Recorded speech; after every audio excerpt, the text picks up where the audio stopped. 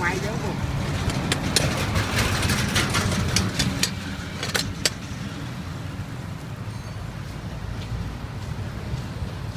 Cắm co toàn trên toàn lên một không lường lường chính.